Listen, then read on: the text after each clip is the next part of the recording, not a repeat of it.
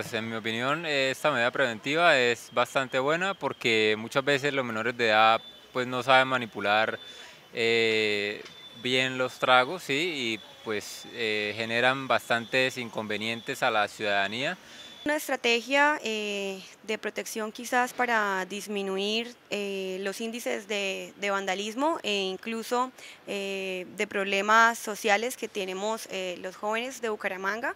Me parece que es una buena alternativa. Pienso que la medida del toque de queda es necesaria en la ciudad, pues sí se han visto muchos casos de menores de edad que a altas horas de la noche pues, se encuentran en la ciudad y no haciendo cosas eh, debidas. Estoy de acuerdo con el toque de queda porque algunos menores de edad pues están aprovechando eh, las horas de la noche para consumir drogas, para consumir alcohol y me parece que la medida que instauraron de este toque de queda está bien. Estoy de acuerdo con la medida porque pues obviamente es algo preventivo para los menores de edad. Me parece muy favorable para los menores de edad que pues están a discotecas a altas horas de la noche.